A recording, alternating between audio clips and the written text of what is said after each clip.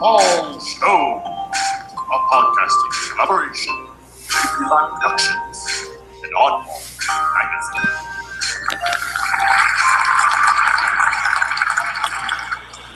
Greetings, all you artists, aliens, and anarchists. This is indeed the Oddball Show. My name is Prof, and I represent the hip hop side, the JP Lime side of this unbalanced equation. Uh, of course, there could be no Oddball Show without the original Oddball himself, uh, with not a jagged edge, but jagged thoughts, the founder and editor in chief of Oddball Magazine. Please say hello to Mr. Jason Wright. Hey, what's up, everybody? Hogan, uh, what's going on, man? Hey, what's up, Joe? Hey, dude. Um, so uh, we're just uh, introducing everybody. So uh, um, welcome to the Oddball Show. This is going to be an awesome show tonight. We, we have a, a great guest. We have two great guests on the show. Um, uh, fan of uh, Troma films, you're going to love this uh, this episode. So, uh, without uh, further ado, off. Yes. So, um, also joining us tonight, uh, we are fortunate to be joined by my part, my partner in Lime, the creative eye behind 1981 and Co., an exciting new photography and visual art enterprise that you can learn all about at jplimeproductions.com. He's uh, vicious on the mic, and he's known as Automatic Slim behind an AK. Please welcome the one they aptly call Spaceman, Mr. Colgan Johnson.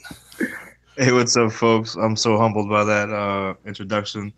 Uh, you all are amazing. Thanks for having me, and I can't wait to talk about this stuff. Absolutely.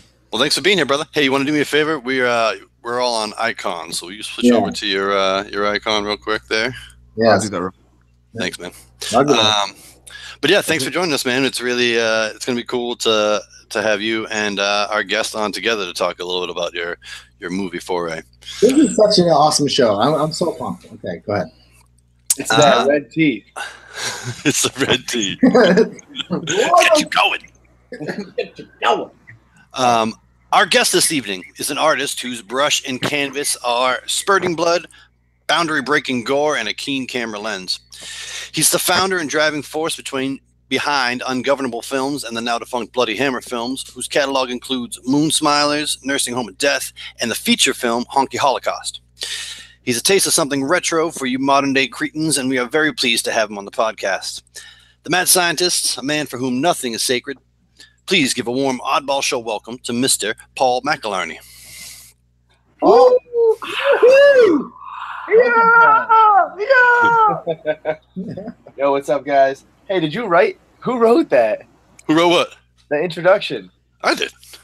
That's that. That that is. Uh, I, I might have to bring you around with me from now on. Whenever I enter a room. I'll take that gig. That sounds like a good one for me.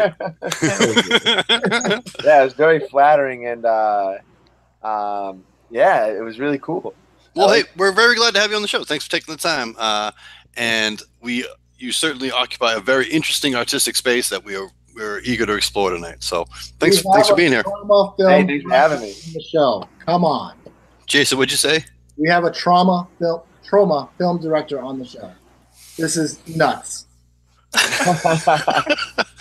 Well, okay. So you just mentioned Troma Films. That is the distribution company that um, that uh, your Ungovernable Films is hooked up with. Let's get right into talking about um, uh, the background of Ungovernable Films and what it is that you're, you you see as your um, your your motto, or what is it you're trying to do with, with Ungovernable Films.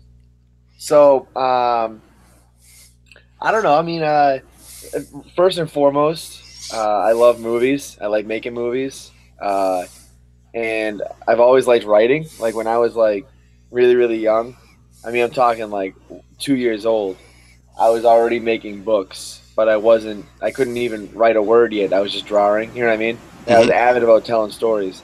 So fast forward 20 years, 25 years, whatever and I had all these screenplays I'd written, um, and nobody nobody really wanted to produce them, obviously, because who wants to produce some some other person's uh, screenplay?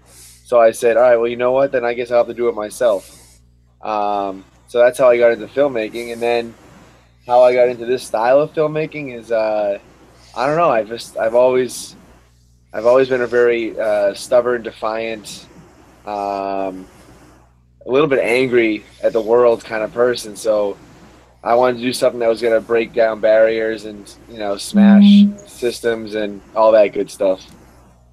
which you definitely do in uh, in uh, the movies that I, I, I've watched so far. I've, I uh, well, I started watching uh, uh, um, Ungovernable Force, which is a, a tour de force of uh, awesome uh, punk uh, amazingness. Um, uh, so, uh, can you tell me a little bit about um, the Ungovernable uh, films, like philosophy, a little bit, and and you know maybe Ungovernable Force, and like are they related at all, or? Yeah. Um. The, I mean, can I swear on this podcast? Fuck. No. Okay. Cool. Absolutely. This is the All right, internet. We can do whatever we want. Fuck yeah. All right. So our uh our motto for some time, and still to this day, we it's just just kind of gotten a little bit old. Uh, was fuck CGI. Um, like we don't like using any CGI. Uh, to the point where I mean, we I mean we use Photoshop for some of our graphics, but nothing nothing moving, no motion, no no computer generated motion at all. Um, and so, and the reason is, I mean, we just want to you know pay homage to you know the Russ Meyers of the world and the Ro- Roger Cormans. Even though Roger Corman uses CGI, you know, like crazy now, and even Lloyd Kaufman does. But anyway, we just you know we wanted to to do things raw and gritty and real, uh, and we felt like CGI was you know you can't get- you don't get covered in in in, in sticky, gross, fake blood when you're using CGI blood. You know what I'm saying? Right. Right. Um, so we want, you know, we want everything to be gritty and dirty and, and back to its roots. And um, yeah, I mean, we're not we're not against anyone that does uh, films that we that we wouldn't necessarily necessarily want to do. But if it's if I'm gonna go out, you know, spend thousands of dollars and you know spend ton, you know hundreds and hundreds of hours and you know probably lose years off my life from stress and uh, lose hair eventually, then uh, uh, I—I want to be doing a film that that I really enjoy doing, which is going to definitely be something exploitative. And you say um, you say we. Uh, who else is it that is the you know the your your collaborators and or the driving force behind uh, uh, ungovernable films? So it's myself, um, and then I brought with me from Bloody Hammer. We we, we kind of dissolved Bloody Hammer because there was a few, you know, there there was some uh, personality differences, I would say, and it just wasn't working out in the end. Also, like difference of opinions on, on where to go with the company. Um, so we we amicably split up, uh, and I started Ungovernable Films, and I brought with me from Bloody Hammer uh, Nick Norman, who I mean, to this day, I haven't made a single film without Nick. He's always been my cameraman, my uh, director of photography, and also I just bounce ideas off of him. Usually, I'll have like a half baked idea, and he'll finish baking it. He'll like, for instance, uh, in the Ungovernable Force, um, there's monsters, uh, which I know you haven't got to that part yet. Mhm. Uh, yep. I just we got into Um, the, the love story of, and then uh, the uh, the uh, the oozing in the bathtub, and yes. So the, and near the end, there's uh, monsters. Those monsters would never have been there if it wasn't for Nick. You know, I had this this cool idea about punks and bums and, and cops fighting each other, Mm. and uh, and then he said, "Well, you know, I think it needs monsters." So that's that. I mean, Nick is a genius uh, cinematographer, but he also adds a little bit of the side, you know, the weirdness to the films we do. Um, so that's Nick. Um, then there's uh, Dave Sullivan. Dave Sullivan is, you know, he's uh he's like a Su- Somerville townie. um, and he and I just, you know, we just we we see eye to eye on a lot of stuff, especially uh, artistic direction. Um, he and I are both, you know, we both uh, are recovering addicts and have mental health issues, and we also have a huge, a really strong work ethic. Uh, both of us, I'd say. So we connected on that level. Uh, we also both love exploitation films, kung fu movies, horror movies, Troma. Um, we we're also both, you know, from he's from like the '90s hardcore scene, and I'm from like the early 2000s, like uh, punk and hardcore scene. Uh, those are our backgrounds, and um, so we connected on that. And and he's been like my right hand man with a lot of like the casting stuff, location scouting, etc. And then there's my boy Alex, and Alex is uh he is if you, he, he's the last person you'd expect to be part of uh ungovernable films. Alex is from like inner inner inner city, like they get like the the hood uh in Dorchester. Um and he showed up to audition for Honky Holocaust, and we just hit it off. Um, he doesn't really like B movies, exploitation movies, horror movies, even. Uh, he doesn't get that we do this and we don't care if we make any money. He's a businessman at heart.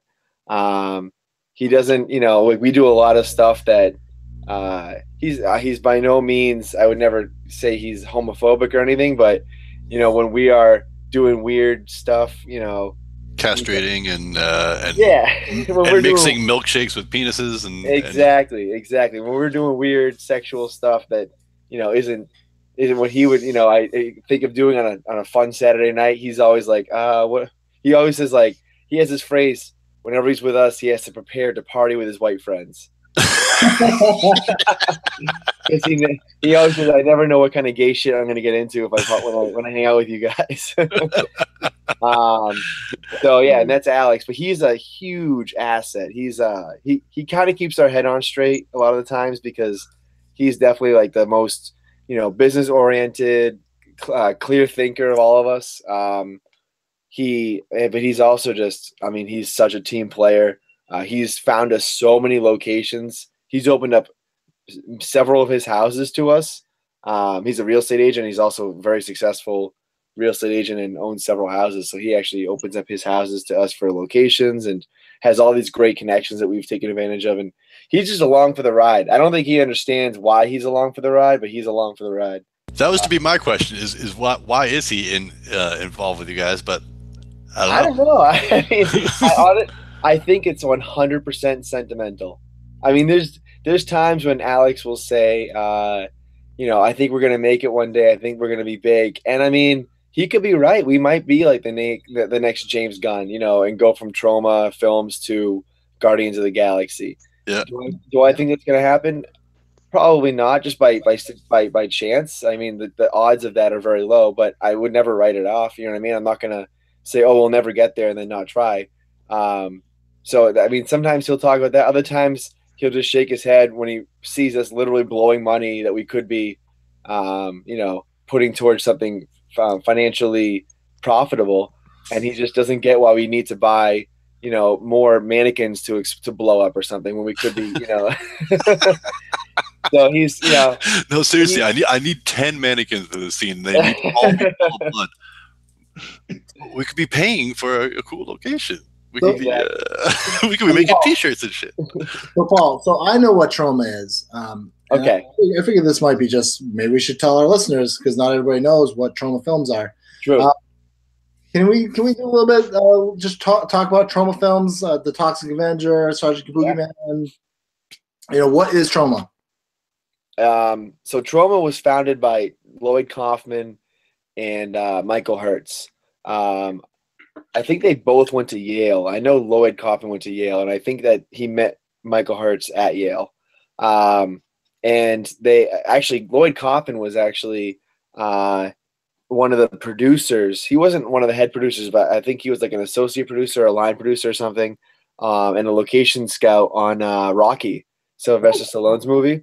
Oh wow! And he he actually is in a scene, and I it might have been a deleted scene or he just wasn't credited. He's a drunk that that Sylvester Stallone throws out of a bar at one point. Gently throws out of the, out of the bar. I mean, that's I mean that that would be Lloyd Kaufman's uh, role in a mainstream film is as the drunk that gets thrown out of a bar. Yeah. But anyway, after Rocky, he decided, and again, this is all what I've read. He never told me this this story, but um, after Rocky, he decided that uh, he hated big studio films. He hated mainstream Hollywood stuff. And so he um he was like, "All right, well, I'm just to do my own thing, indie films, you know, almost like, you know, very low budget, uh, fun, etc." And so he started Troma with Michael Herz and they started off by doing like these kind of like goofy screwball sex comedies.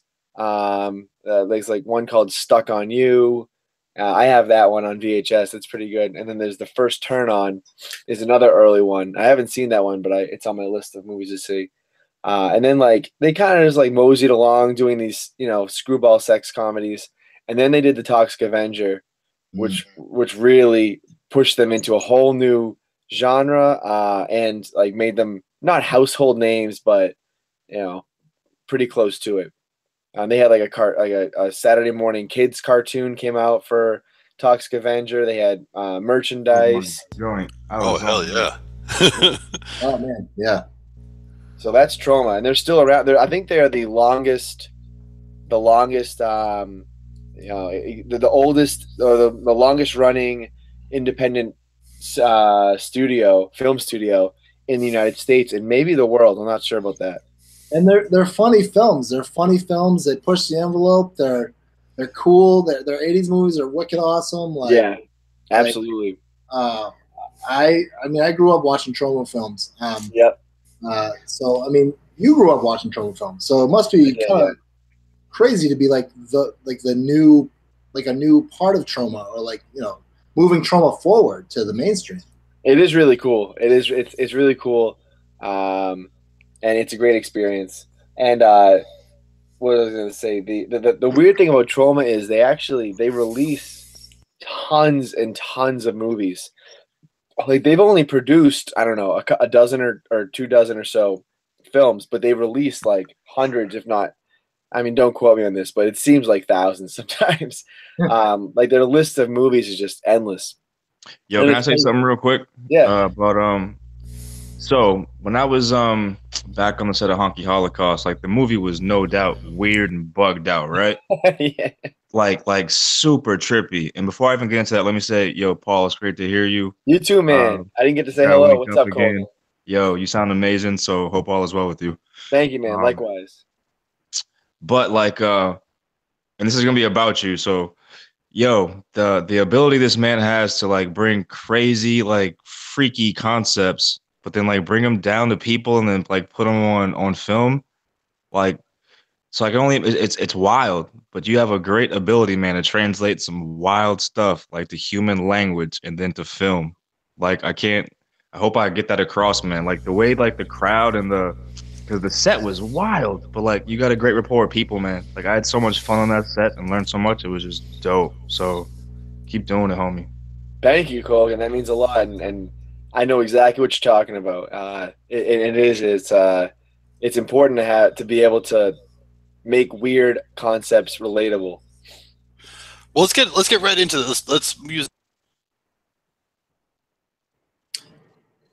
Ralph, I think you unmiked yourself. Oh, I did. How did you, how did you know that I was talking right then? That's that's crazy.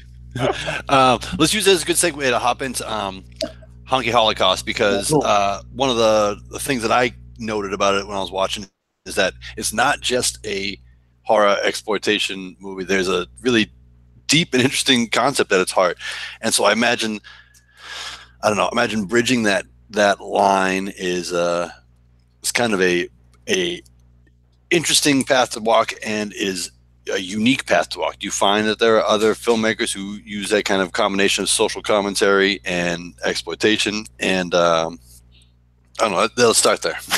Um, yeah, I mean, right off the bat, uh, Troma does. Um, I, I don't think that they're quite as. I, I have trouble. I have a lot of trouble. Uh, um, what's the word? Not not being wordy or not being in your face with with concepts sometimes.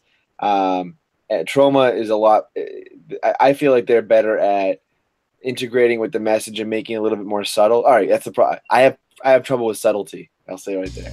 That's what I'm trying to say. So I mean, I know that seen my films can kind of tell. if in fact, if you saw if you if you saw how many deleted scenes there were just from the script and also just in the films, like scenes we actually shot that I had to take out because it just says the same message over and over, you'd see I, that's my biggest flaw is I cannot do subtlety.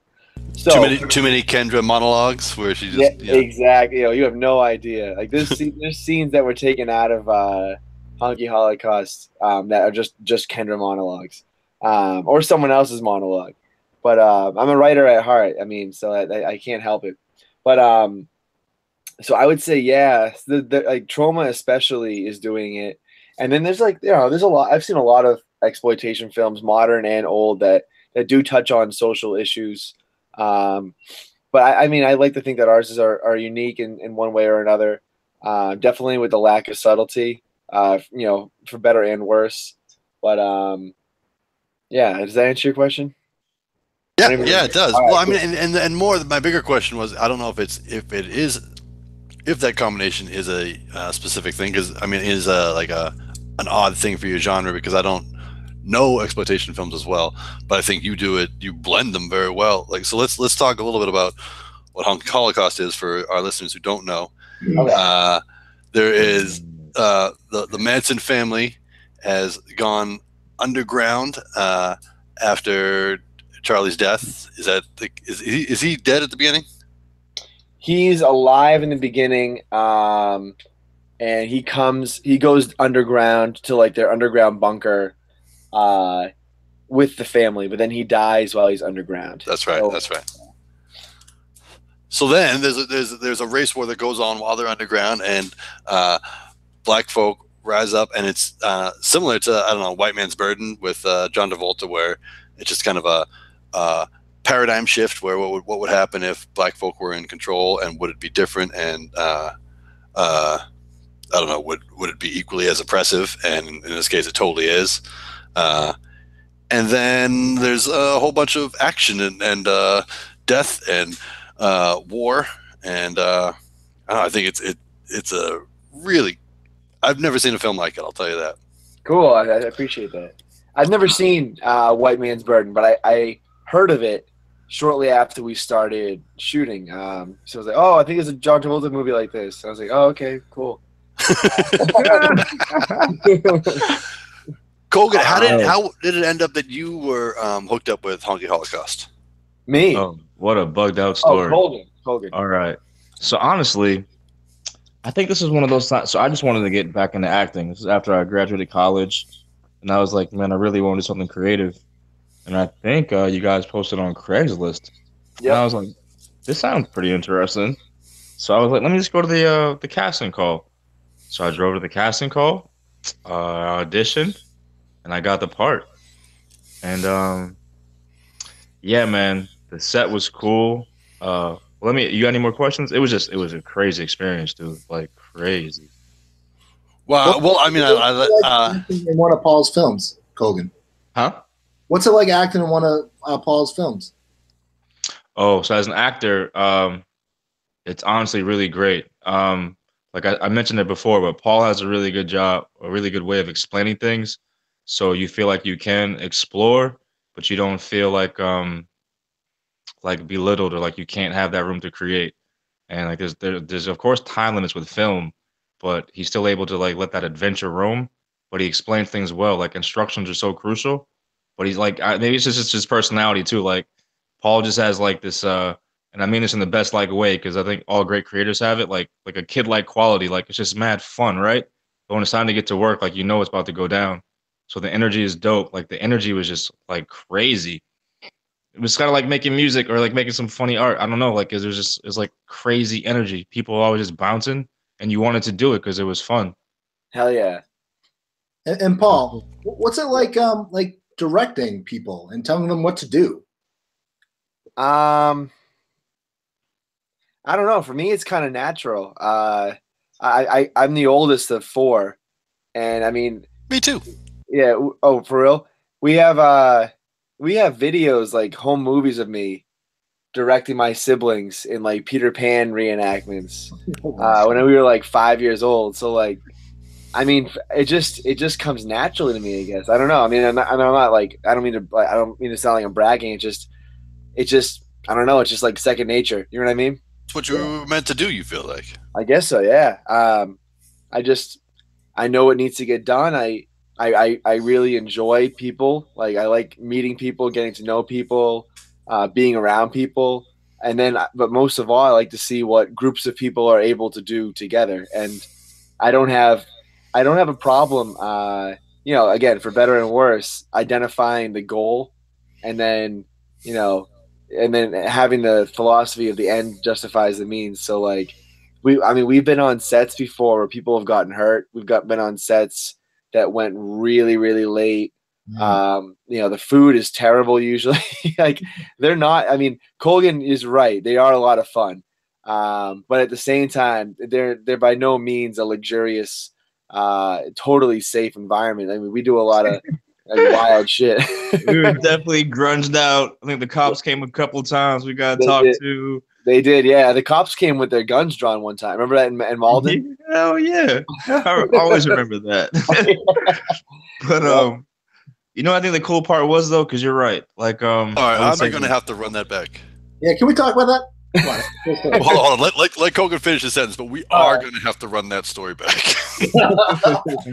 Oh no, you can run with that right now. I was just gonna say I know why it's cool because like between Alex, Paul, and his other workers, Nick, like um, like they, they let each other have their voice, and even with the actors, like everybody had their their voice. So like they those guys do a great job of listening, but then like executing the vision with the input they're given. So it was dope. Hell yeah. well said. want- High, high praise. Now, why did Yeah. gun? Uh, why were guns drawn? So during uh, Honky Holocaust, we had the cops called on us three times, I It's like believe. multiple times. yeah, three times. One was one we were shooting uh, a fight scene uh, by Ell Pond in Melrose, uh, and they the cop a cop someone told the cops we were spraying graffiti, which we weren't. um, and so they came and, and I, I told the cop I said uh, you don't you know we, we're allowed to be here uh, because we have less than the the limit of the number of people that you can have on a public film set. And I, I lied. We had way more than we were supposed to, but I I knew he didn't know the law, so I was like, all right, well, I, this this dude this dude has no idea what the film law is. Um, the next time we were, it was late at night. We were actually outside of the building that we were kind of using as a headquarters, and it was like four in the morning, and we were definitely being loud. And we weren't trying to be loud. It was just it was a scene we were shooting. So someone kept calling the cops because we kept waking them up, and I just pretty much said, "Listen, dude, we are so close to done." And they let us like take do like two more takes. That's all we needed. I remember Uh, that. The Vivid. third, yeah, you were there, Colgan. Right, right, right. Oh yeah, that was The- The third time we had the cops called on us was the time they drew their guns, and like, yo, I don't know if you know that, remember this, Colgan, but it was um one or two days before uh the Boston Marathon bombing. So like, I always think like, wow, if that had been like a week later, that might not have gone so well. um, Yeah, I think PTSD might have blocked that one out of my brain. Yeah, we were we were um we were shooting in Malden uh, at, at one of our uh, one of the cast members' houses, and the scene called for um, a bunch of you know a bunch of armed armed um, people who were going to go fight this Nazi dude, uh, the, the the the head of the Manson family after Charles Manson died. And they were like getting ready for battle and like practicing and like you know loading their weapons and stuff, getting ready for war. And then they were marching out the door and down and like down an alleyway. It was a really quick transition shot. You know, it, it- nothing happened in it except walking out the door uh, with with guns and then down an alleyway. And they were all fake guns. We spray painted the ends to make them look real. Well, Uh, listen, can I stop right there? One thing does happen. I'm pretty sure a guy pisses in his own mouth during Yeah, that that- scene. yeah, it's it's that scene. It's that exact scene. Um, we looked pretty that was badass that day, though, going down the side of the house. you we did certainly look did. pretty. You Um, certainly did. we Yes. did look pretty crazy. uh, and uh, Colgan, you probably remember Mike McCarthy, the guy that pissed in his mouth. He was a professional wrestler, punk, uh, punk band uh, frontman who I idolized in high school. Like he was like one of my favorite bands, um, and also a raging, raging alcoholic. Uh, at at a few points in his life, I think he's doing really well now, but at that point, not so high. and he was really, really drunk. We we had bought a whole bunch of forty ounces. Um, Oh, yeah. that was like that was part of the, the scene. And we were like, hey, you know what, guys? We usually don't allow drinking on set because it it affects productivity. But today, have at it. You know, this is the scene. And he, I think he drank all of the forty ounces that we bought for everyone. yeah. And then he proceeded to pee in his own mouth. I don't think I've ever seen somebody piss that long. Like you could have like had like the Guinness Book of World Records that day. Like that was Yeah. insane. hey, he got all over Harry Tool. That was real. Yeah, Oh. Whoa! yeah. I need a And that's to one of those things. Like I'm reliving it now. I'm like, damn, I really didn't want to see that, but you couldn't look away. It was like, what? Yeah. Dude, The funny thing is, it Right. wasn't not in the script. and That was his idea. He was adamant that he wanted. to yeah, in he was. Wow. I, Uh, oh, wow. memories. So a, as we were uh, in the alleyway shooting that that scene where he pees in his mouth, at the top of the alleyway, which is right next to the house we were shooting in all day, I saw like a cop, and I'm like, oh, all right, cops are here. We got to go explain to them that we're shooting a movie. It's okay. And then another cruiser, and like they had like three or four cruisers pull up, lights blaring, like guns drawn, ready for like a firefight. Because I mean, someone called the police and said, "Hey, I just saw like a bunch of like decked out people with shotguns, assault rifles, pistols, uh, Spiked baseball bat. bat." Yeah, Dude, we were we were infiltrating. We were Yes, coming like the exactly. SWAT team. so and the cops came and and we just kept we were like trying to calm the cops down because they were definitely frantic. Um, and Kendra or uh, Maria Natapov, the actress playing Kendra Manson, um, did not understand that she could be shot and killed, and she was holding the gun, her assault rifle in her hand, like it's just a fake gun. And I'm like, put it down. It doesn't matter. They don't care if it's fake or not. Um, They're, they're not going to ask you if it's fake or not. Exactly, yeah. She and she was she's like uh she just kept saying it's not real, it's not real. And I'm like all it takes is one cop to not hear her and see her waving the gun and just have a moment of like oh shit and and and shoot her. And now I'm the director that had a cast member get shot on his but uh yeah luckily luckily that went that went better. Uh, i mean it went okay. They ended up understanding that we were shooting a movie. No one got shot and i think we got all the footage we needed that day it's pretty awesome though, because it is a badass scene. Because then they go to all out war Oh, at the yeah. mayor's office, and uh, yeah, it's uh, pretty badass. it was scary though like literally the next day or two days later was the marathon bombing and i thought of that like a week or two later i'm like oh my god if that had happened No shit, dude. oh we, all- we all could have gotten killed you know what i mean Oh yeah, yeah. At least, at least pretty severely beaten. yeah or or arrested and made examples of you know Yeah, no shit. Yeah. So it looks like the film gods were smiling on us that day. So Big how do, to how do you know when you're filming when when you are filming? Uh, how I mean, how do people know that you're filming a scene? Um, do you like block off stuff and do like this kind of thing? Like, you like block So- off the road or whatever, or block off the area, or like put a sign up that says, "Hey, we're filming" or something? It- yeah, it depends. We actually have a uh, we have a like a, a banner that says uh, "Ungovernable Films Set," um, but it's more for like marketing and promotion than it is for like warning people. A lot of times, uh, if we're in like an open set, like a public set, uh, first of all, we try not to be because there there is sh- the chance of getting shut down, and that's like the worst thing ever. Like when you're shooting a scene and you're halfway done, and then you have to scrap the whole thing because you get shut down halfway through. Yep. Um, and then you have to reshoot all the stuff you already shot because unless you're going to get a location that looks the exact same, nothing's going to match up in post.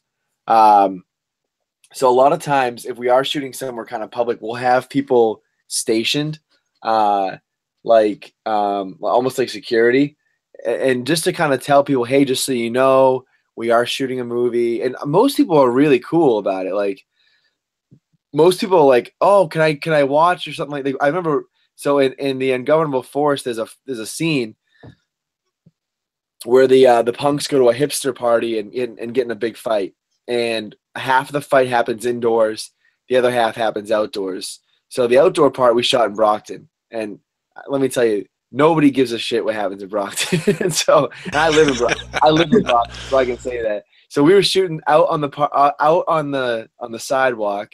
We had a, a car with a blue light on it that was a cop car, um, and this wild fight going on.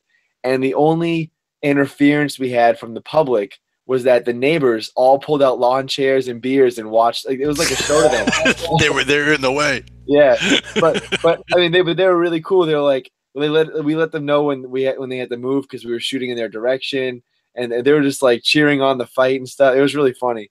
Um, but yeah, for the most part, I mean, we just kind of set people up to like stand guard or you know uh, if the cops are coming, they you know they- they'll tell us. If there's people coming, they'll yell and or hold people back and say, "Hey, do you mind just waiting a second before you walk?" Because that we're filming right now. Most people are really cool about it. Mm, mm.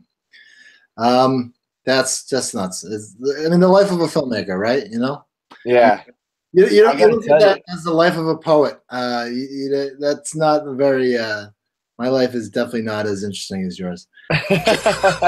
Not, I mean, hey, But but it's don't- don't forget, man. It's it's like so uh, we we now we now shoot films uh, over the course of two weeks. Like that's our thing. Like we I Yeah. take two weeks off from work. We shoot almost every day for 14 days straight. Get out everything we need, and then I'm not out shooting again for almost two years usually. You know what I mean? So like, and my life might be kind of wacky for like two weeks, and then I'm back to like hunched over my computer editing that footage for a year and a half or two years. You're doing the post production. Yeah, yeah. Exactly, yeah. And that's actually my, my least favorite part is uh the production, the filming. The post production is your favorite stuff. Post and and the writing part and the post production are my favorite. So what's what's more? Uh, I know we, we got to go to break, but um, what's Okay. more important? Uh, the what's more fun for you, the writing or the post production? Uh, Oh, we're not at break yet. I mean, I, I'll tell you when we're at break. I, Uh, uh, what's more uh, important, the writing or the post production? I have no idea. Uh, I, I think it depends on the movie. I really do. I think probably post production eventually becomes more fun because I get to see everything come together. But as a writer, like I, I just love writing and I like creating my own universe. You know what I mean? Oh my God, my poem is my poem at the end of this uh, whole podcast is about that. It's uh, Nice. we'll, we'll, we'll, we'll, we'll talk about it, but um, that's Nice. really. Um, when you when you we're going we're going to a quick break, but um, when uh, when you are writing, um, are you writing a screenplay or are you writing a story first, or are you writing? Like, how's that work for you? Because I'm always interested how a writer actually works uh, and formulates their uh, you know the main the the screenplay. So I'll, I'll give you an example. So I just finished writing uh, a script that we're going to shoot this summer, um, and and it it uh, for about a year, uh, six six months to a year, I would just text text myself um, ideas all the time, all the time. Uh, and then eventually, and I, when I when I get home, I put them all into a Word document. So I eventually had like a fifteen to twenty page document of notes. And then when I when I, I don't rush it, but I one day randomly I will eventually feel the inspiration and the motivation to write it. And that happened about a month ago. And I wrote the script, uh, and I had all those notes handy. So that's how I do it. I, I spent a year or so of, of just writing down ideas, and then when the time is right, and I won't know I won't know when that is until it happens. I sit down I, I can write a, a feature length screenplay in like three days. Uh, this one, wow. yeah, that that's how long it took me to write Honky Holocaust, and most of the Ungovernable Force I wrote in like a, a few days. Yeah, Um, you're, you're on the uh, Neal Brennan and Dave Chappelle um kick. 'Cause That's Yeah, like right? Three days to half baked, right? Keep that up, homie. That's dope. this one took me like um about two months because I was actually editing uh, a documentary at the same time. uh, That's we'll- pretty, uh, we're, we're gonna go to break, but uh, when we get back, I want to see. I want to talk to you about like if you went to film school or whatever like that. But, Cool. um, well, let's uh, let's uh, take a minute to uh, uh, uh, talk Yeah. about what's going on at uh, Oddball Magazine and JP Lime Productions. Sounds Uh, good. All right, cool. Um, so normally we have like this cool sound effect that we haven't been able to have in a little while. Uh, it Oh. goes like. and then it We, we had to fire. We had, we had to make some, some uh, downgrades. We had to fire our sound effects guy. Yeah, he, yeah, yeah. So he was anyway, we drinking on the job. He was So- stealing. I was actually listening to something. Always Sunny in Philadelphia I actually had that breaking news. Um, uh, the the breaking news thing that we use uh, was actually there. So maybe they got it from our show. Probably not. But um, yeah. So breaking news. Uh, this is what's going on at Oddball Magazine and JP Lime Productions. Uh, Paul, why don't you tell me what's going on at JP Lime Productions? You want to go first? No problem. Um, so over at JP Lime Productions, we are uh, your role with a crunchy hip hop center. You can find us at jplimeproductions.com. That's the home of uh, JPL Magazine and the home of uh, all things Lime, including our music. Uh, you can find links to our music video for what you need. Um, you can find uh, uh, some live show footage, and you can find anything else about who JP Lime is and what our mission is here in the world for JPL Magazine, recently we've uh, re- reinvigorated ourselves in 2018, started to reconnect with some of our contributors, and um, this week we put out an article about uh, Black Panther. Uh, I uh, love Marvel movies and I try to see them uh, opening weekend, and obviously Black Panther is huge, on track to be one of the biggest making movies ever. Uh, Yeah. I think it was on track for like 400 million after two weekends. Um, uh, so we did a little piece about that. We, you know, I talked about some of the things that I liked a lot, but I, we also tried to point your attention to some great writers who are already doing, you know, already talking in depth about um, the direction, the costume design, and the, and the story of Black Panther. So we wanted to point your attention towards um, some good African American journalists, for that matter. Uh, so that's our article on Black Panther that went up this week. So definitely check that out. Um, we'll be coming back soon with our good friend LSP, who is a Boston-based hip hop producer um, responsible for all of Blue Star Boulevard, and he does a little piece called LSP Throwback Thursday, where he gives you he dials back through his digital volumes and finds uh, a beat for you to enjoy on your Thursday. Um, so we, we'll be starting that back up soon. We also have um, our hip hop group Tyler Durden, which is a duo comprised of myself and uh, a guy named D Plus. We have a show coming up on March 18th, so we'll be doing some um, promo for that with uh, videos and some other information about us before that show in what is that like two and a half weeks. Um, and then the big thing that I wanted to, to finish up on is our good friend uh, Colgan here has a new enterprise called 1981 and Co. Um, which I'll let him talk about in just a second. But we've been uh, pushing that a little bit at the site, and you're going to be able to find very soon at jplimeproductions.com how you can purchase prints and um, and other stuff from 1981 and Co. Space, you want to talk about that just a little bit? Uh, surely, thank you.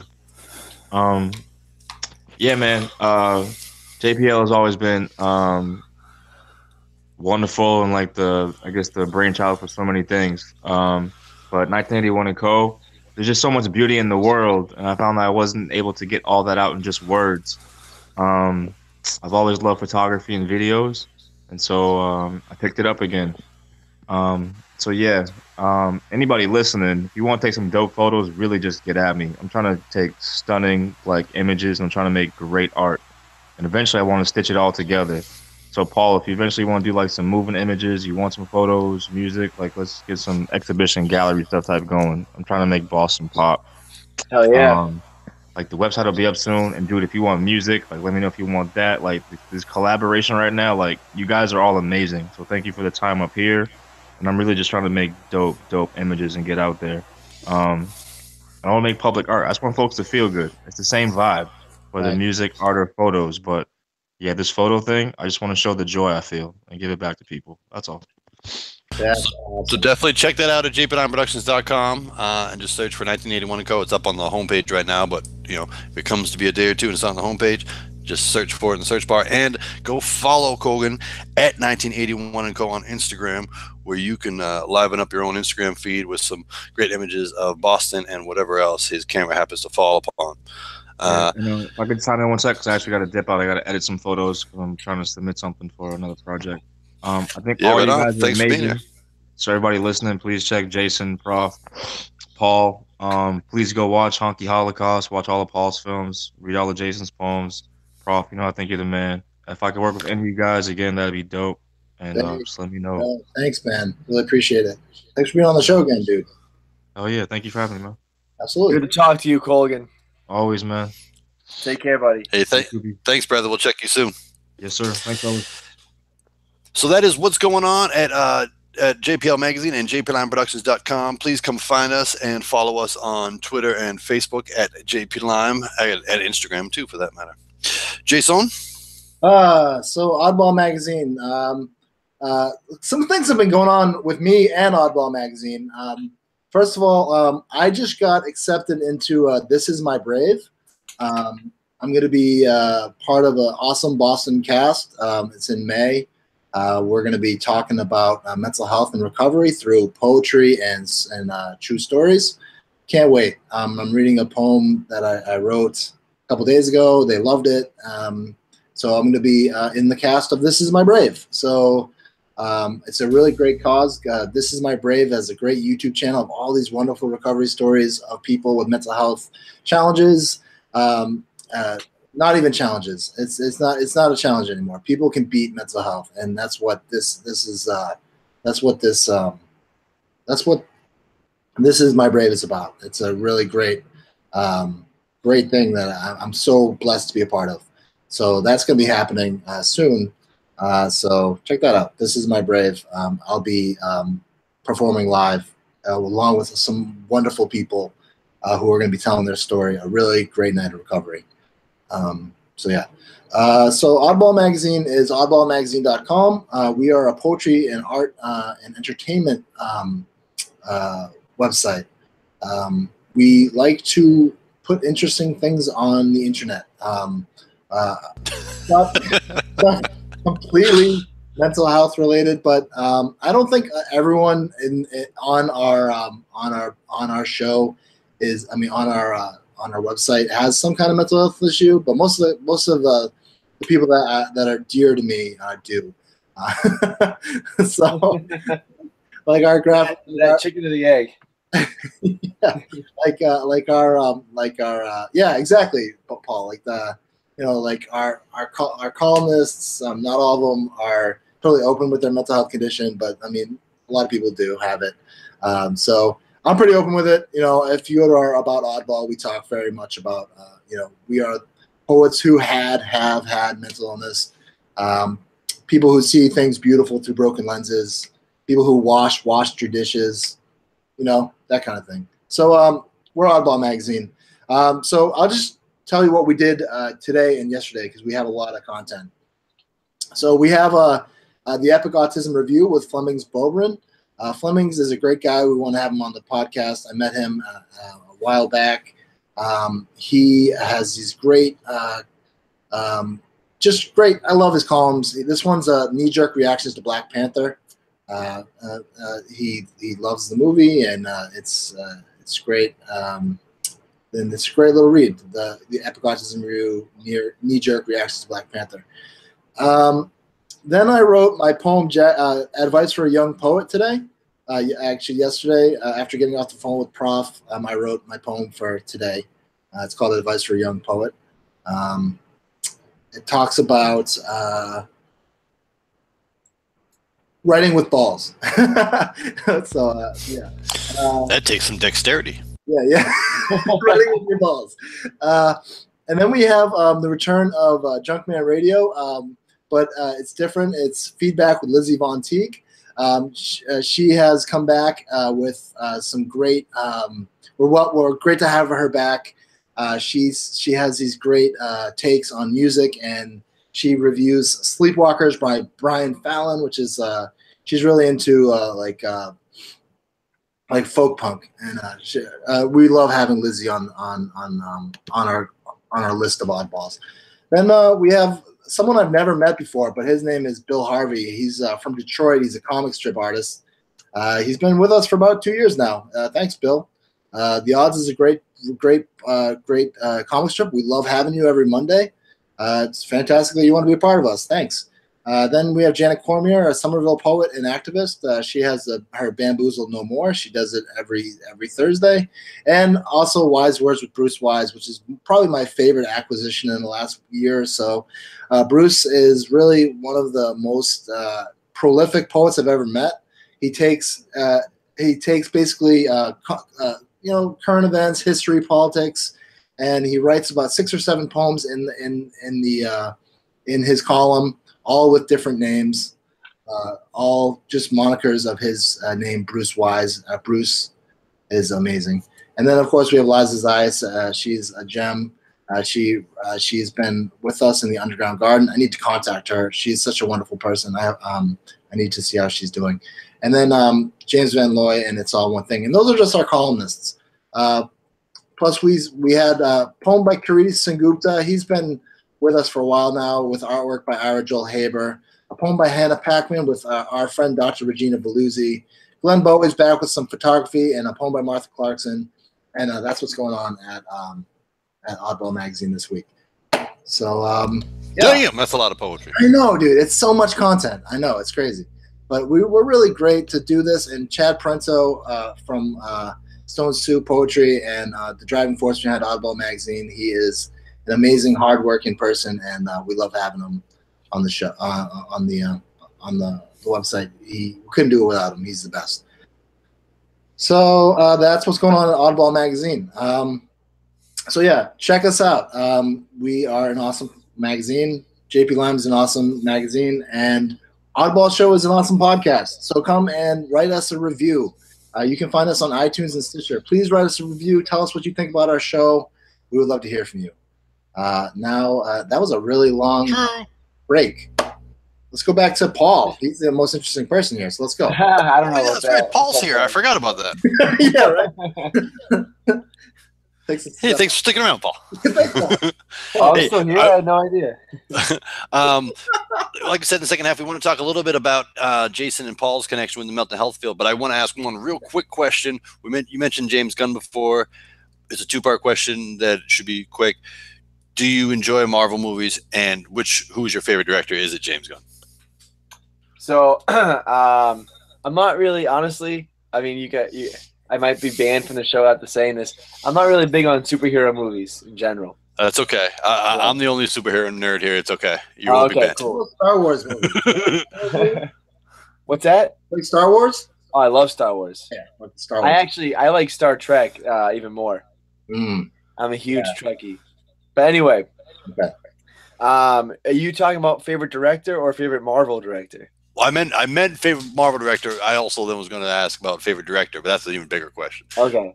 I, the only thing I've ever seen by James Gunn is uh, Tromeo and Juliet, and I think he wrote part of Terror Firmer or something like that. So I've actually never seen Guardians of the Galaxy. I've seen clips. I've, I've really only just seen the clip that Lloyd Kaufman is in. Um, It's one of the uh, best. 'cause Wait, what? Wait, that? where is, where is he in, in Guardians? Do you know? Do you know what he does? I, uh, I asked you that even though you just said you'd never seen the movie. the scene, but I, I have no idea what's going on. Yeah, it. It's yeah. like he's he's an extra, but and he's doing he's kind of prominent. Like the camera's panning across the scene, and he's doing something. Uh, I want to say he's in a bar or something, or a club or something, but I could be wrong about that. No, it probably is. There's a well, no, we won't get into it. It's Yeah. it is one of the best uh, movies in the Marvel set. He just Gunn really does an awesome job. It is Cool. just phenomenal looking. Uh, but yeah, I like Marvel movies. Yeah, I, like- I like Star Wars movies. I think um, I think uh, these. I mean, but I can see why you like Star Trek. I can definitely see it because I it, love Star Trek. it's kind of such a deep universe, you know. Yeah, Yeah. My, my wife and I are obsessed with Star Trek. It's kind of campy. Am I wrong? Is Star Trek? Oh, it's wicked campy, Yeah, yeah, especially especially the old the uh, original series. yeah. I mean, Star Wars kind of took themselves like. I mean, I mean, the filmmaking in the original Star Wars is amazing, but I mean, Right. So seriously, where Star Trek, like you know, William Shatner and stuff. Come on, like, that's Oh yeah. That's like Batman stuff, like back in the day. You know what I mean? Like, exactly. you know, and I, I can see why you would like that, and I can see the connection between that and, um, you know, exploitation films. And Star Trek is definitely exploitation stuff compared to Star Wars. And Oh, totally. you know what I Yeah, mean? Star Wars is more uh, epic. It's epic. It's yeah. an epic, whereas Star Trek is is a lot more. Uh, I don't mean this in a bad way. It it just is what it is. It's very more. It's much more one dimensional, where uh, there's not a lot of like deep, deep story going on. I mean, as as you, go further into the, the later series, there there's more and more. But Star Wars has like a rich, rich uh, mythology and everything. Where Star Trek only goes back as far as like the 20th century. Have you ever read Star Wars, The Philosophy of Star Wars? It'll blow your doors off if you've ever read it. It is I haven't now. fantastic. You know what? I'll see you, um, and I'll bring it to you. All right, cool. I'll let you borrow it. Um, and I guess that's a little. Uh, I guess we can talk about. Um, I met Paul at uh, uh, a place called the Neponset River House, which is a, a, a, a, a uh, it's a, um, a, a mental health clubhouse that he uh, uh, is uh, manager of or something, right? Like, I'm uh Like- so I'm, I'm an employment coordinator. Wonderful. okay. Yeah, it's we're, we're all gen- at, at clubhouses. We're all we all we're all considered generalists. Yeah. Um, but I, I I I handle some employment stuff, which is the only which is the only department in a clubhouse that sets you apart a little bit, just a tiny bit from the other staff. Absolutely. Yeah, but other than that, I, I just kind of do what everyone else does. And Uh, I I met okay, Paul. I don't know if you know this, but when I first started working as a peer specialist, I got I went to the Neponset River House site because I'd never been there. And Yeah, I picked out all your videos that you had uh, filmed with the people from uh, Neponset River House. Oh, on, on our YouTube our YouTube channel. Yeah, dude. And I thought, oh my god, I totally want to get involved with this because uh, I don't. I mean, I, I want to learn how to to do this stuff, um, but I want to be like kind of part of that message, uh, which. Yeah. You made actually a Star Wars movie where you talked about stigma busting, and uh, that was the first time I had ever seen you. I didn't know who you were, and when I met you, I was kind of like, "That's the guy from the YouTube videos." But I, I, I, I, I, I'm talking. Uh, I'm walking with. I, I don't know. I ran into you, and I was like, "Do you have a Toxic Avenger tattoo on you?" And uh, find out that you are a wealth of, uh, of amazingness about Troma, which that's crazy. But um, going back to that original idea, like you made these videos for mental health awareness, um, like stigma busting and the three roots Yeah. or whatever. Um, I, I mean, I think that's that's great. It's awesome. It- I, I, yeah, and they're a lot of fun. And you know what's really weird is uh, um, I, I'm in, I'm in a very I'm, I'm in a very precarious position there, uh, because uh, I, I don't know how much you know or you too, Prof, or anyone in the world knows about uh, the clubhouse philosophy, but it's a very it's a very incredible, um, brilliant philosophy that is possibly the most fragile barely sustainable uh, system ever conceived by mankind. Um, it, it, it needs constant, constant, um, what's it called? Monitoring.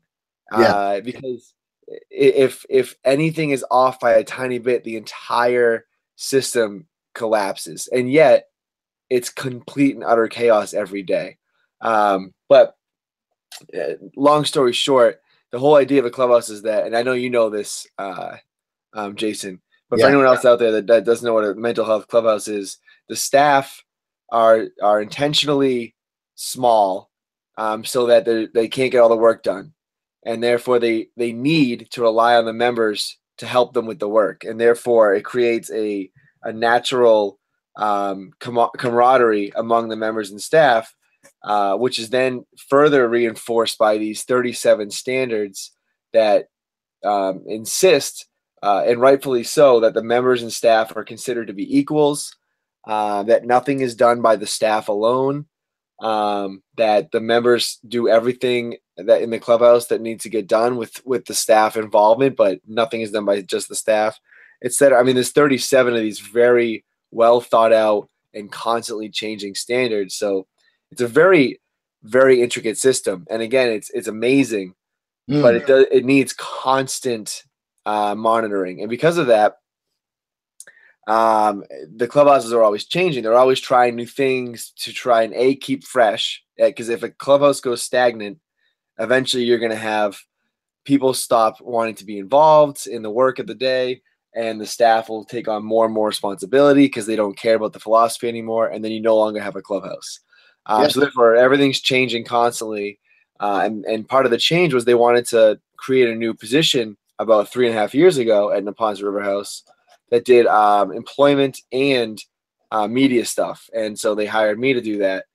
Um, now here's the here's the part that that drives me, it keeps me up at night sometimes, is that uh, a a clubhouse at, at its core is obsessed with employment obsessed with employment. And and and, and that's a good thing because uh, the philosophy is all based on the idea that human beings especially those suffering from mental illness uh, will only um, you know improve feel better uh, reach self-actualization um, whatever you want to call it by being worthy by feeling purposeful and therefore they have to do some kind of work in the world the clubhouse has tons of work that needs to get done. So a lot of people show up at the clubhouse. All of a sudden, they went from 30 years of laying in bed, you know, depressed or, or hallucinating or totally, you know, zonked out on med on, on way too many meds, Mhm. uh, and now they're actually helping cook a lunch or driving someone to work or doing computer work or even just cleaning a bathroom. I mean, and that's what the beauty of Clubhouse is. And then absolutely a camaraderie there. There's absolutely absolutely, great. absolutely. It's great to see. I love going to NRH. I love seeing everyone there. Um, I love getting lunch with and, and um, you know Trudy is a, a wonderful person. Um, Yeah, I just I really like the uh, the way you guys do it. You guys do a good job, and uh, yeah, I can tell the people who are there are empowered. yes, absolutely. Um, and and, be, and because I was hired to do employment and media, and because clubhouses are so obsessed with employment, it, it, it at times it feels like if I do media stuff, it's taking away from the clubhouse, and I know that's not true. But there's a there's very little built into a clubhouse that is supportive of of what we do in the media room. There's nothing that's opposed to it, but like where every fiber of the clubhouse's being is about employment I'm like, all right, I should be working on employment. I should work. And so, like me, I'm a very, which one? I don't know which left brain or right brain, whichever one is more analytical and uh, uh, rigid. That's me. I am as, as, as artistic as I am. I am super neurotic and, and analytical and everything. Um, and therefore, it, it, I feel like if I'm not doing what needs to be done for the good of the clubhouse uh, at its core, then what am I? What that I shouldn't be doing anything. And therefore, I whenever I'm in the media room, as much fun as I'm having, I'm like, all right, is this really helping the clubhouse? And then you know, when I really look back on it and I see what people and other clubhouses are doing, and I see the work that we do in the media room, I'm reminded, well, yeah, this is incredible work. This is really meaningful, and it's a whole new realm of of skills that people would never get from working cleaning a bathroom or Yeah. working in the kitchen. As, as important as those things are, this is a whole different thing. Uh, Um, I mean, I could, I would love to learn all that. I mean, I want to just come and take classes there. Uh, you know, honestly, to learn um, how to to do Final Pro and stuff. The fact that you offer that stuff at the at NRH is freaking. Well, I don't know. Do you uh, offer Final Pro or whatever? Or, we have Final Cut there. Yeah, we don't. yeah, I don't even know what it's called. That's jeez. Yeah, and and and and Jason, you're always welcome, especially if you bring um, young adults. Well, I, there's a bunch of people that I mean, we can't really name them, you know, for whatever. But I, I could bring a lot of people. awesome. you know, uh, who are, I mean, there's people that I work with, uh, Paul, who are brilliant writers, who are artists, who are poets, who are musicians, and all they have is a stupid friggin' diagnosis that brings them down. Yep, I hear you. You know what I mean? I And like, that's not what mental health is. You know what I mean? Exactly. So, like, the fact that you, the thing that brought me to to um want to go to NRH was the fact that you have a media room. That's so cool Yeah, you know like i think that i mean cleaning toilets is nice but like learning how to like do final pro uh, final cut is way more more impactful for some. I hear you. I, I, can, to- I totally agree. And I can think of someone right off the top of my head who would totally benefit from it Excellent. um absolutely um so uh i mean i I, lo- I mean keep doing that keep you know i want to i want to i'd love to see some more stuff from from uh, you know that that youtube channel and it, i'd love to help you i mean definitely I, the more the merrier. We, we have that. That is probably one of the most difficult meetings to keep going because, uh, you know, it, again, it, the the the course of the day is so frantic that to sit down for an hour and a half and you know plan out a video and do this and if you we, we close the door because if you open that door you get caught up in the whirlwind again. yeah Um, so yeah, it, it, it, that that the media room is uh the media meeting is is fantastic, uh, and and it needs a constant influx of new people and uh, attention. and I will, I, I will, uh, you know, we'll talk. I would love to just uh, be part of it. So, you know, Awesome. cool. Um, so that's what I mean. That's how me and um, me and Paul kind of met. Um, I saw his YouTube videos and uh, did not know that he was, a, um, you know, a Troma film director. It's funny how you meet people, uh, and that's kind of the journey. Um, I think, um, Totally. you know, Well, it sounds like really powerful stuff. You know, uh, it's it's it's and it um it reminds me a lot of like last last couple shows that we've done on on mental health awareness. Um, both of Rokas Lupik with the, Uh, the living with the Living Museum. You Yeah. know that, that that's kind of an interactive, uh, community-based organization that seems to have less structure than the clubhouse. You know, and kind of thrives on that. And it, and it seems, reminds me a lot of you know I'm learning a lot as we do these mental health podcasts. You know, this is obviously more your area, but I'm I'm soaking up a lot, and it reminds me a lot of what we talked about with peer support. You know, and the reasons Yeah. why that's important. You know, Yeah, so absolutely. Um, because um, some people um, like the, the the peer gets it. I think I, I mean a good peer support specialist gets it. Um, you know what I mean? Um, I, I think that's like just the nature of peer support. Um, I, I think uh, the, the the the nature of of uh, mental health work is to move people forward, um, and you know through Rokas doing what he. So Paul, what Rokas does is really cool. Um, What Rokas- is Rokas? his name is Rokas Lupik, and he, you know him? No, no, I, I, I don't. Okay, so Rokas Lupik. well, he- yeah, he lives in the Netherlands, so I don't imagine that you do. when we had Rokas Lupik on, we we had to call him at like ten in the morning on a Saturday, because it was like six o'clock his time or something. Um, and we talked to him about his living museum. It's actually a art museum. You would love this if you ever go to the Netherlands or even Brooklyn, because there's one in Brooklyn. Was it in Brooklyn, um, Prof? No, it's in Harlem. Harlem. Really? living Yep, it's- museums, dude. They they are these um uh mental health uh, uh I don't know. They're like they're um pe people with mental health conditions. Okay, so they used to be psych wards, but now they're art museums, and they're and they're run by the people. They're run by the. The artists get paid, and they all have mental health conditions, and they put together this amazing art. And uh, it's so empowering for people. Uh, Wow. yeah, it's so cool. So I met him at the Alternatives Conference, and I had to have him on the show. It was it was amazing. Of course. Yeah. That's amazing. But it reminds me a little bit of that, you know, an alternative kind of um, idea, or at least a progressive type of idea for how to work with uh, mental health awareness. Uh, and Rokas is is devout about it; that he thinks that is a, a very beneficial model. Uh, you Yeah. know, for people that he's worked with. And and, la- and last week we had Thomas Brown on, who's like uh, a amazing advocate for peer peer support work, uh, doing some great work uh, with Bay Cove and um, the uh, Eastern Mass Peer Network. And uh, I don't know the, uh, the the the the the world of mental health is expanding, and it's, it's a Totally. a good thing. You know, it's like people are getting better. People are improving. I know I've improved. I, I was in 2016. I was in a psych ward, and I found out about NAMI. Uh, and, you know, and I found out about in our own voice, and I was like, this exists. Like, you get, you go to schools and colleges, and you talk to people about your experiences to change how people look at things. Right. Freaking amazing. Yeah. Um, so I don't know. There's, I don't know. There's a lot of good work out there, and um, Absolutely. And, and it's barely been tapped into by most people. Absolutely. And I think I think one of the things about mental health is people don't get it. Right. People people don't get it. They don't understand um, that it's possible to recover from it. People think uh, that it's just like you're going to constantly suffer. Uh, you don't suffer with it. You end up living with it. And you Yep. thriving with it. Um, and one of the people I always think of um, is you know I always think of Princess Leia. You know, Yeah. Princess Leia, you know, because she had, you know, bipolar disorder, or you know, freaking uh, the Harvard professor from um, The Beautiful Mind, or you know, Nash. Yeah. yeah, or even Kay Redfield Jamison, who you know is like the uh, you know unquiet mind and stuff. So I don't know. It's just it's just amazing.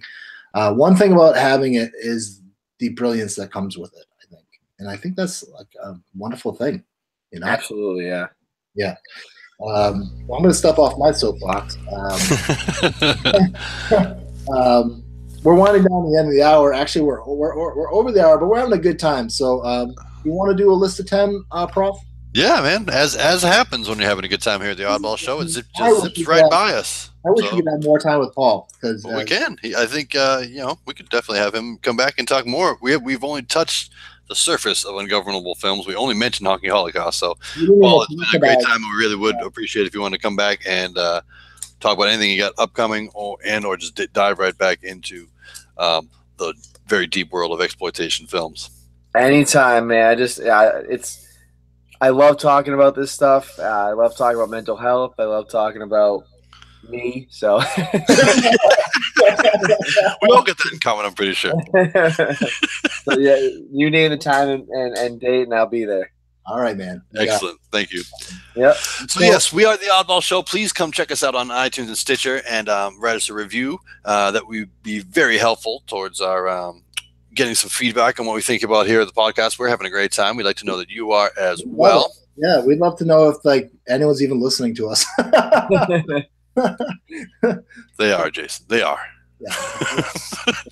um, the Oddball Show runs live. What'd you say? Big Brother is watching.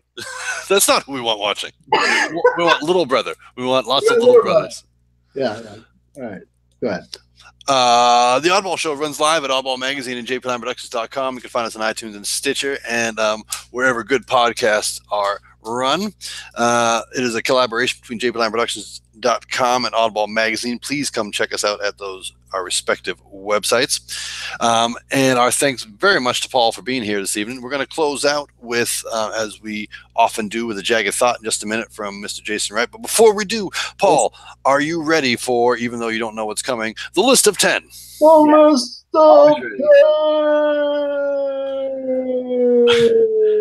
Very well done. Very well done. The, li- the list of 10 is a set of 10 questions based on, um, or roughly based on James Lipton's questionnaire from Inside the Actor Studio, which is also based on a French show, which is based on the Proust questionnaire. It goes a long way back. It's a deep tradition. Uh, so here we are. Let's start this off. Question number one for Paul on the list of 10.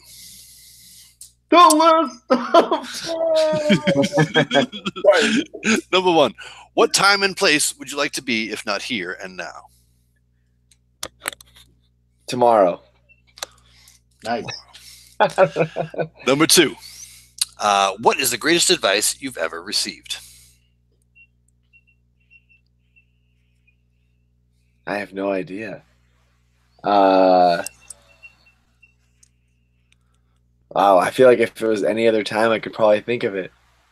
Uh, uh, I don't know. I mean, uh, I just don't take myself too seriously. I guess I have no clue. All right, that'll work. There you go. But yes, the pressure is serious during the list of 10. I understand. oh my god, it's overwhelming. Number three, what would your superpower be? Oh, uh, probably flying. Yep, that's mine too, man. People have said flying on the show. Everyone wants to fly. It's, I- it, it I really would is like the best fly. power. It really is. I would love to fly. Yeah, You know, as a person, not in a plane, not in a hang glider, just out and go. Oh yeah, that'd be great. Oh, cool. Yep. Or swim a lot. You can do that. Would you say? Or swim a lot? Swim a lot. yeah, you, you, you could be uh, you could be Aquaman, or you could fly through the air. That would be awesome. you choose. I can talk to fish, or you know, fly Yeah, like a bird. Fly. Get eaten by a shark the minute you start swimming. Just saying. It's dangerous. At least you can fly away from stuff. You can see stuff coming. You know, if you're swimming, you're just gonna get eaten by a big sperm whale or something. That's true. That is true. Sperm whales are the biggest whales, I believe. I'll, I'll take your word for it. Just be Yeah. careful when swimming, everybody. Okay. Number four. Don't eat before uh, 30 minutes beforehand. Don't don't eat more than two hours before being eaten by a whale. Actually, that's that's my. Uh, I take it back. I want uh, my superpower is I can eat and then swim immediately after. I thought that was giving you your advice. That's what I thought too. I thought it was gonna be, Oh, don't swim before getting eaten by a whale. Yeah. 30 minutes before swimming. Well, excellent, excellent. Number four. Uh, Biggie or Tupac? um, I go Biggie. All right. He's got rhymes. He's got bars. I I like I love Tupac, but Biggie hands down. There we go. He, he le- he led the life, and he had bars. Yeah, he really did. Number five. Who is your favorite person? Favorite person? Uh, like that I know or famous or history or what? However, however that works for you. However however it works for you. My wife. Ah, she'll listen to this, so I have to say that. I was gonna say that's almost always the right answer. Whoever says they're mailman. But what would you do if you didn't have? I don't even know my mailman. Uh, I don't know my mailman either because you never gave me the headset back from the left. He's listening in right now. They're all. Cr- crying a little bit. Jason doesn't know my name. Uh, Number six. What is your quest? Um, to uh, to to live a full life before I die. you're doing it. Full life before you die. Yeah, Anyway, That's uh, much easier said than done. it really is. It really is, and it changes every day. If you're lucky. It's true. Number seven. Fill in the blank. All you need is blank. Uh, food, oxygen, food and oxygen. I, I thought you were gonna list like 20 things, and that would have been awesome. No. you, need, you need food, oxygen, sex, a walk every day. You need an apple. You need, like, you know, probably a little bit of yogurt. It's gore. I was like, all you need I was pub. saying more, but I was. Uh, I'm- I'm thinking Maslow's hierarchy of needs right now. That's right. food, water, shelter. Exactly. Number eight. Rock, paper, or scissors?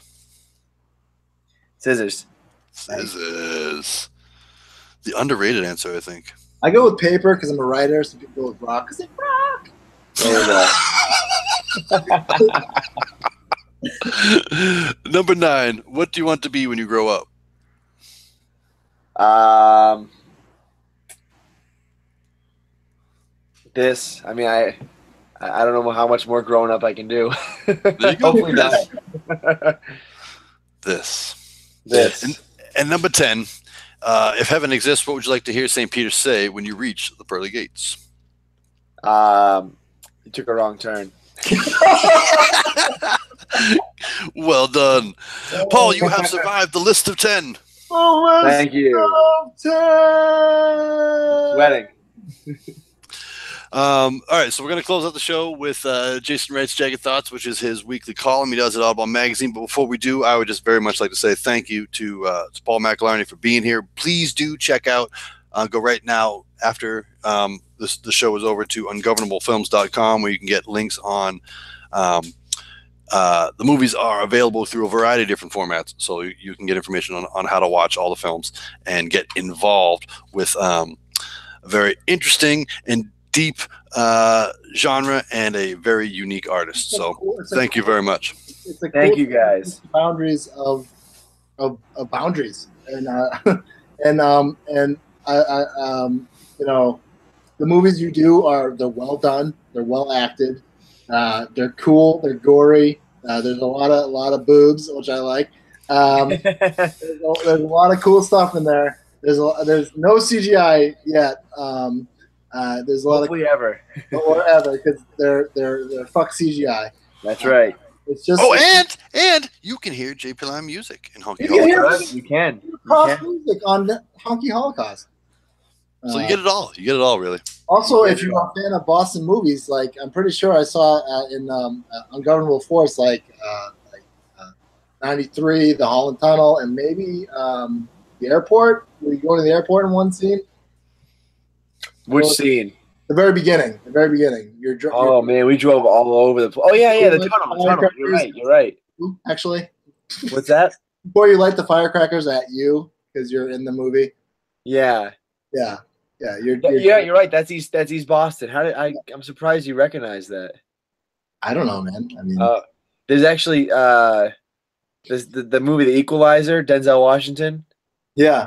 There's a scene where he's walking up the street in East Boston, literally next to that building. No way. Yeah, I was like, oh my god, we literally shot like a hundred feet from where he is right now. But But we were we were there first. at himself? That's what you did. exactly. Uh, and if you know, if you see Ungovernable Force, you'll know what we're talking about, and you'll say it's pretty awesome that uh, Paul's in it. Um, it's just a cool movie. I can't wait to watch the rest of it. Um, I'm going to watch Honky Holocaust. Although last time I tried to watch it, I think uh, my computer exploded. That happens sometimes. Um, but yeah, check out check out Paul's uh, uh, ungovernable films. Check out Troma. Um, it's freaking incredible that that we know this guy, that Paul's Paul exists, that he does this stuff, and uh, it's awesome. Thanks, Paul, for being on the show. Thank you guys for having me. It's been real. Yeah, man, it's definitely been real. Um, uh, I'm gonna uh, close off the, the, the night with my jagged thought of uh, of the of the week. Um, the Rooibos tea is uh, leaving my system, as it uh, tends to do. so uh, let's um, let's Are you finish off- urinating on yourself? Is that what you just told us? I mean, I don't know how else it leaves your system. Oh, yeah, that's a- that's a good point. I guess it's still in there, going strong. You're not you're not pissing in your own mouth. That's what I'm sure. That's enough of your, uh, my personal life. Okay. All right. it's metabolizing. Yeah. okay, guys. It's been real fun having you on the show, Paul. Uh, please come Thank on. you. Um, Prof, I'm going to uh, end off with a Jagged Thought 2113 Advice for a Young Poet. Uh, come on, um, come and write us a review on iTunes. Uh, we really want to hear from you and let you know if you're listening or not. Okay. Uh, Jagged Thought 213 Advice for a Young Poet. Here we go. Breathe in. Write your thoughts down, all that bullshit in your head. Light it like a bomb and write your ass off till it explodes. This idea, writing, take that 1,000 word picture, creating something beautiful or as ugly as you want to. If only a minute, that one minute of writing, you matter. You're the creator. That for the moment, that whatever plagues you, the tattoo tatted on your wrist, and all that it is is ink, that feeling, let it dissolve into you. And for a moment, you are conqueror. Your digital identity, your forever tomb. Right till the clocks stop. Finish like good sex, or like something not ordinary, like this world, but something different. Tell them you are brilliant in a few sentences. Tell them, fuck you, I'm doing this. And in your writer's world, you are king, queen, prince, princess, martyr, superhero, savior, destroyer, president, emperor, governor, Schwarzenegger. You are the terminating gunslinger with this writing shit. And when you are done, then you can be ordinary. You can go back to being a shade of gray. But right now, don't stop. Make each line make you stronger than you are, bigger than the projection on the movie screen. Be King Kong, be Cleopatra. But each poem will end, poet. It will. You will recess back into your shell, like a little tiny insignificance. But you know when you go back to that digital pad, you can build yourself another world again. Build, destroy, repeat. That's what we do. Write that poem's history. Write its constitutions. Write its symphonies, anthems, presidents' days. Build its monuments and its mausoleums. Write its Big Bang Theory. Write its own place in the world's library. Then breathe out. That's my advice for you, young poet. And that was Jagged Thought 213 Advice for a Young Poet.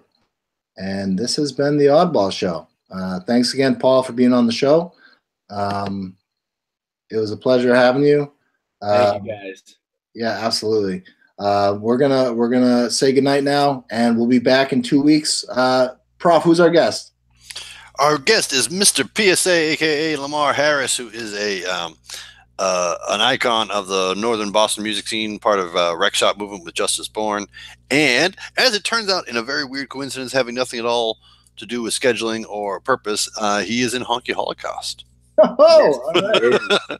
But yeah, uh, Mr. PSA will be on our, our next show. all right, guys. All right, thanks. It's been a pleasure, Paul. Thank you so much, and uh, we're out. We'll talk to you later. Later, guys. All right, see ya. Bye.